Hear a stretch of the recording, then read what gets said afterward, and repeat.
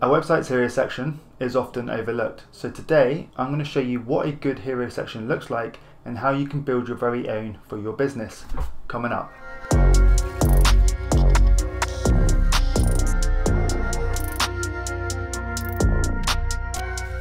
What's up guys, Tristan Parker here and I'm committed to helping you up your website design game and your business. Now I've done a couple of videos now on how you can produce your own website from scratch or how quickly you can produce your website but I've not really stressed on the importance of putting together that effective hero section or even how you go about building it so that's what we're going to cover today. If you're sitting there and you're unsure what the hero section is, Essentially, it's the main block at the top of your homepage. You know, you perhaps have an image in the background or it's a large title text.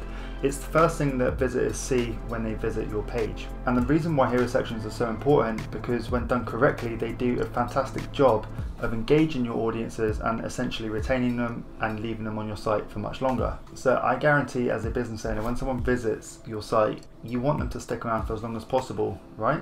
Unfortunately, statistics show that when someone visits your site, they tend to leave within around 10 seconds. Now, this would be because they are either lost, they don't know who you are, they don't know what you do, or they just outright do not like the design of your site and decide to leave. And having a great hero section will help fix these problems. So as I mentioned earlier, the hero section is the first thing a visitor sees. So we need to use this as an opportunity to answer any of the questions that they have when they visit your site. You know, we need to be answering the questions like, who are you? And we can do this just by clearly displaying our logo. The next question we need to answer is, what do you do? And we can do that just by telling people what we have to offer. And finally, we need to tell them what our value proposition is or how they as a visitor are going to benefit from our service or our product. So I'm going to show you how to answer all of those questions using your hero section and we're going to build it step by step in Elementor and don't worry you don't need the pro version either you know this is so simplistic that we can rely on the free version so you can take care of this for absolutely free. So let's move over to the computer so I can run you through it step by step. So here we have an empty page, it's just a blank Elementor canvas at the moment.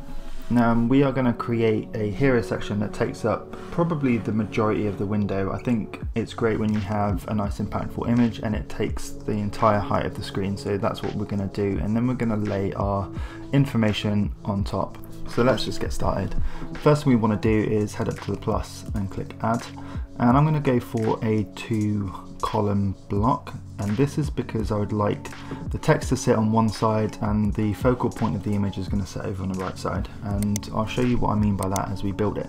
So in order to add a background image to this new block that we've added, click the six dots right at the top and then we want to head over to our edit section and then click style. From here go down to background type and click classic. Now here we have the option to add an image so head over to there and click add. Once your image has loaded, you'll see it appear in the background of the block, um, but you'll notice that we can't see it. So there's a couple of tweaks that we need to make. So head over to position and we want to change that to center center and we want our background size to be cover. So just to cover what we've done here, we've changed the background size to cover. So this essentially means that the image is always going to fill the space and keep its proportions. Also we've placed everything in the center so our focal point of the background container is going to be right here in the center so this just distributes the image fairly evenly. Depending on the type of image you're using you can play around with these options so for example if you wanted to you know change the positioning of it you know maybe bottom center you'll see that the image is going to move around but for now we just want it in the center and you'll see that we can sort of make out a little bit more of what the image is supposed to be. Now in order to get this hero section to sit full height of the window, we want to head back to layout over in our edit section and we want to go down to height and put fit to screen. And there we go, now you can make out what the image is. You'll see that our image focal point is over towards the left and we're going to have our text over to the right. Now let's start adding some text and now to do this we just want to head back over to the edit section and right at the top with the nine dots we want to click that and then it's going to show us all of the widgets that we have available through Elementor. Now at the moment we're just going to go with the heading because that's what we're trying to add. Now this doesn't look ideal so we just want to style that a little bit better so it's a little bit bigger and quite a bit more visible and I'm going to change this to the heading 1 So the reason why I've changed the heading 2 to heading 1 is because we're working with the hero section and we're defining our most important prominent header on the page. Now websites work in a hierarchical order and your H1 tag indicates that it's the most important header of the page. It's also good for SEO purposes, but I'm not going to dig too much into that during this video.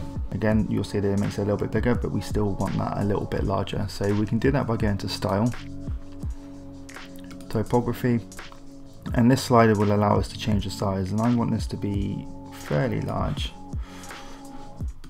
But first off it would probably make sense to actually change the content in there so we know what we're working with. So I'm going to go with so size wise it probably looks alright but we're just going to change the colour and make that white. Now it's not standing out on top of the image as strongly as I would like it to, so we'll address that shortly. And we'll do that by adding a slight background uh, color to the image to separate it from the text. But for now let's give this a subheading. So, so you remember me talking about there's a couple of questions that we need to answer. And essentially this what this is answering is you know what do we do? You know as a business what do you do? So in this example it's high quality football apparel Next, we want to talk about what are the benefits, you know, how are people benefiting from your website or your product. So let's add a subsection underneath this title. So head back over to our Elementor widgets. We're going to go with heading again. Now this time we can change the HTML tag to be a paragraph. Again, we want to change the content here, so let's go with giving young So there we go, pretty cliche, but you, you get the concept.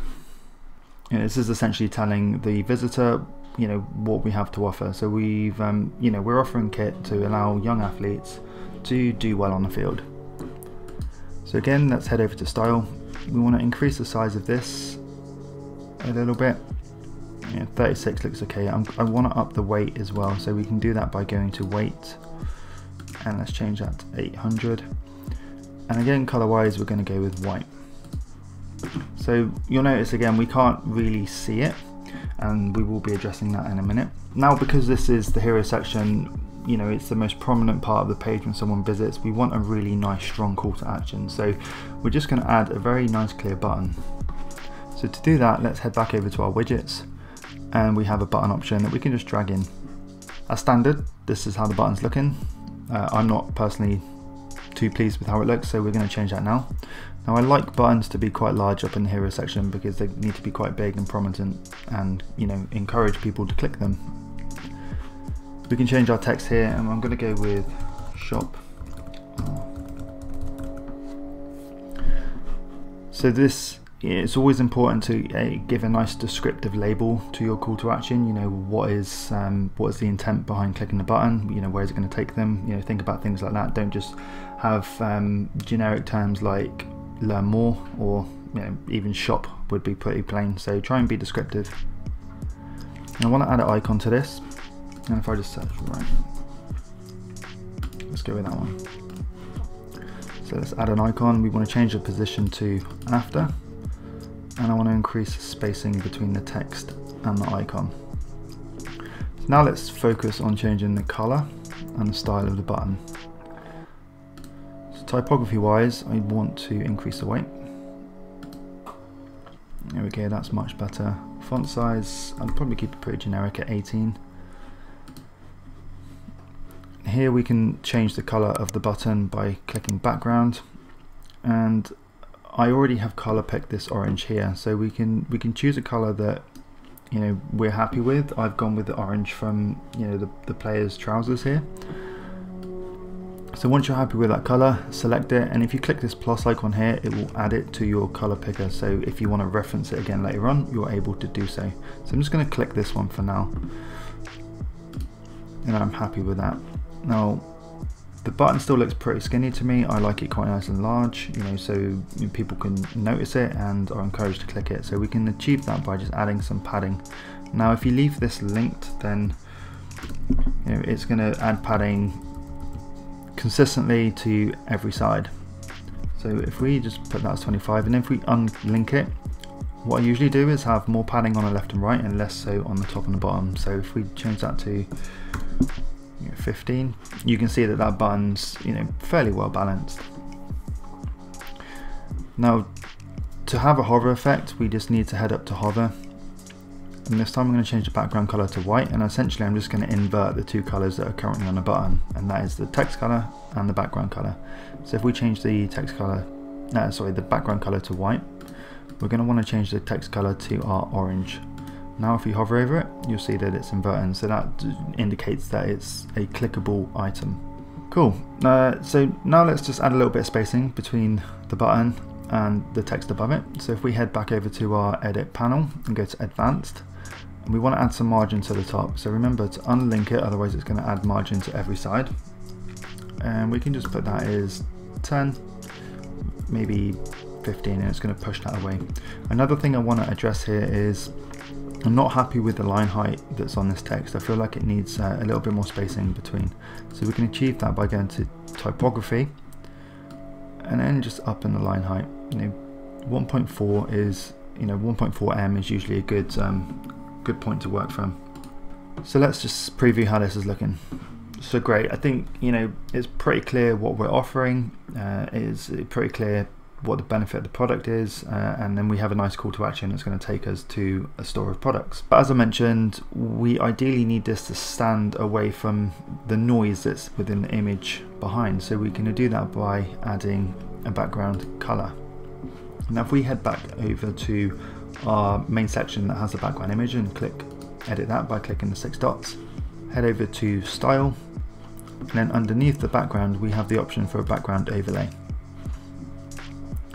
Now I'm going to go and, and I'm going to see what a gradient looks like. I'm going to have a left to right gradient. So the left side is darker than the right side. I really like how vibrant the image is on this right side. So I'm going to try and maintain that. So if we click gradient, you'll see that it's pre-selected our colors. I'm just going to change that to black. And then this one, again, I'm going to change it to black, but I'm going to lower the opacity. So at the moment it's going from you know top to bottom and we need to change the angle of this so it's 180 degrees and we're going to need to swap it to 90 the gradient's working in the other direction so there's a couple of ways we can fix this we can either just add 90 to that and it's going to flip it around or alternatively you can swap these uh, color options around if you like but now you can see already it's a hell of a lot clearer in seeing what this says and it's going to be quite nice and clear for the visitor when they land on the page so what's um, the opacity is at 50%. Yep, I'm happy with that. So again, let's preview what that's looking like. Nice. Again, I'm happy with that. So now we need to address the question that people might have when they visit, and that is, where am I? And we're going to do that just by adding a simple logo. Let's add a header to the hero section. So we can do that by selecting our section, and we want to add a new section, and it's going to add it above. So here, again I'm going to go with a split because on the left hand side I want the logo and traditionally on the right hand side you would have the navigation. So there we go, it's added a new container above, now let's add an image. So we need to add our site logo and to do that head back over to our Elementor elements and this time we're selecting an image and we can just drag that into our container at the top. Now we need to choose our image so here are images added. We can't see it at the moment because the image is white because intentionally I want it to sit on top of this hero section here. But we can change the width of it at least by going to style. Selecting the pixels option, I always find that a little bit easier than dealing with percentages, especially when you move into the responsive design territory. Percentages can get a little bit tricky. I prefer working with fixed width images, but that's my opinion. So feel free to, you know, size that however you like. At the moment I'm just going to stick it at 300 pixels. Again, we can't really see it. So I think first off, let's deal with this whole uh, separation between the header and the hero. Now there's a couple of ways that we can do it. We can either add, uh, we can either you know create this as a fixed section at the top, or we can use what's called a negative margin on the bottom, and it just will pull this container up underneath. So for now, let me just go with that one. So click the six dots of our header container, head over to advanced, and we want to change the margin. So uncheck the link. And here we want to go with negative, let's say 100. and as you can see the image has pulled up which is great. And if you just up and down on the the mouse uh, sorry if you up and down on the keyboard using the up and down arrows you can change the values of these to you know tidy it up a little bit. So at the moment it's 69 we might have to come back in and change this.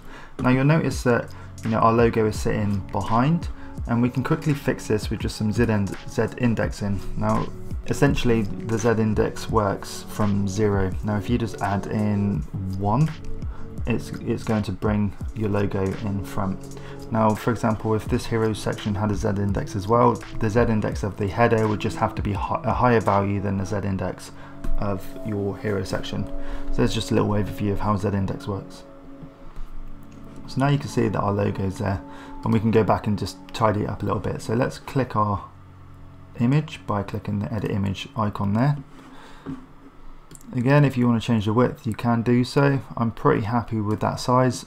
However, I would like to align it to the left. Now visually, I feel like there needs to be some spacing, uh, you know, above the logo. So I'm going to add some padding. So click the six dots to edit the section. And within advanced, we're going to go to padding. Now again, unlink the values because we only want to apply padding to the top and the bottom. I'm going to go with 20 and 20. So now you'll notice that our hero section has been pushed down and that's because we only pulled it up by 69 pixels and at the time that was good enough for the height of our header section but however our header section is now increased thanks to the padding we now need to bring the bottom margin back up like so so there you go, there's how you build a very nice looking hero section in Elementor. Now obviously in this example we're missing the navigation and you would just place that on the right hand side. So we're answering the questions that you know we need to answer every time someone visits the website. You know, so if they think they're lost, you're telling them where they are, and you do this by telling them who you are in the form of your logo. Also, we're telling them what we do, and we do this with our main heading here and then underneath there we're also telling them you know how do people benefit or what are the benefits of you know our product? And we're doing that in our subsection here. So here's just an example of a, a strong hero section for your website. We have it full height which is nice. You can tell that it's visually appealing. Hopefully that works for you. There are other ways that you can go about styling this. You know maybe if our focal point of the image was slightly different um, you might want to move this text around you know if there wasn't any real focal point of the image you might want to place your uh, hero content right in the center of the page you know so you have options so hopefully now you know how to build a very nice hero section for your website so there you have it. It's really quite simple, just a few important things that you need to include in your hero section and you can answer all of those burning questions that a visitor needs to know when they visit your site. I've shown you how to create a nice hero section for your homepage, how to add a very nice strong compelling title, adding the value proposition, we've added a call to action in the form of a button and we've created a site header that included a logo. So next week what we're going to do is we're going to continue with this and we're just going to build up on that hero section a little bit more. We're just going to add a little bit of parallax, maybe a couple of subtle animations and just some nice simple ways to just draw that user in a little bit more to engage with your website and your content. So hopefully you found that valuable. If you've enjoyed it, give it a thumbs up. It really helps other people find my content. There are loads of other videos on the channel as well that are designed to help you up your web design game and improve your business. So yeah, go check it out. Hit the subscribe button if you haven't done so already and hit the bell notification if you want to be notified of other future releases. Also, I'd love to hear how you're getting on with your hero section, so pop me a comment down below and I will get back to you. But for now guys, I'll catch you in the next one.